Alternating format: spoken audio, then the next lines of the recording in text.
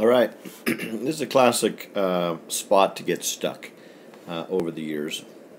And um, they give you half of a diagonal, which is 3, and they give you another half of a diagonal, which is 4. Sometimes they'll give you the whole length to give it a little bit harder.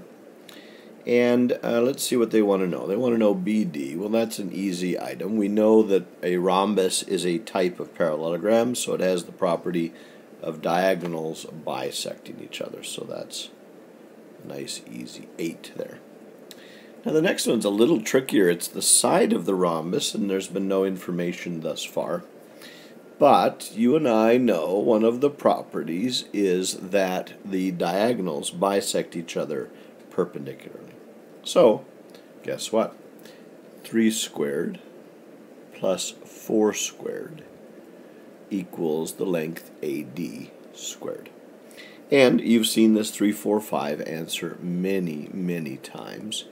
But uh, it's, it's always tricky the first time, but I've always been warning you, be careful when you deal with shapes like rhombus, rectangle, and square. Because there are 90 degrees in there, they're going to use the Pythagorean theorem or something uh, 90 degree related to see if you're watching and paying attention.